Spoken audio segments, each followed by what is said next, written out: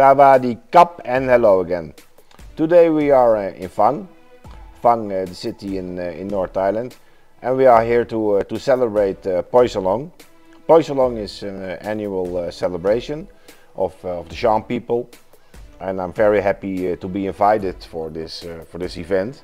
And the Shan people live in, in Myanmar and North Thailand, and during this three-day celebration, Poy Sang Long, young boys uh, aged between 7 and 14 years old are prepared to, uh, to be ordained into uh, Buddhist monkhood.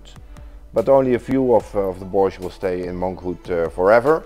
Most of them will return to a normal life uh, within two or three weeks. And as you can see, the boys are carried around, carried around on the shoulders of, of male family members.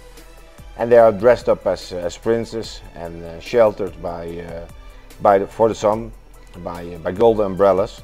And it's a super colorful, uh, very nice, uh, very nice festival. And it was really uh, an honor to be uh, to be invited for this festival.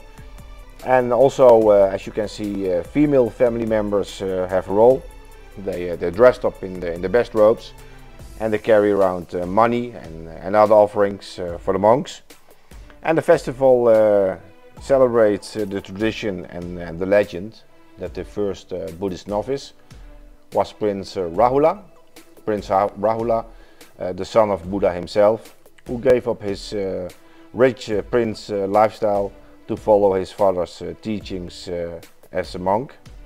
And also now the, the novices exchange their jeweled robes for the cloth of, of monkhood.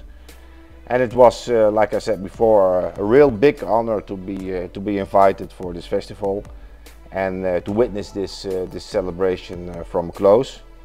As you can see, it's uh, super nice, very uh, very to, be- to be recommended. But that's wrap for this video. See you again on another location. Have a super nice day and bye bye.